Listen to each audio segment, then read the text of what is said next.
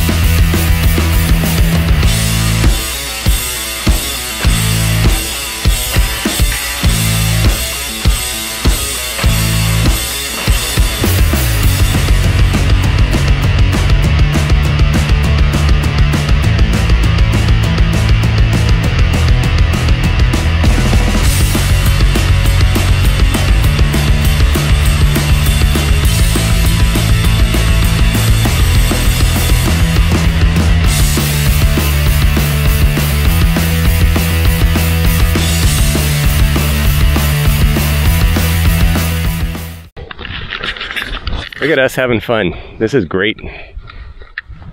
This is great. Another good day to be alive. Yep, another good day. Oh, the weather's super cooperated for this one. Holy cow. Cool.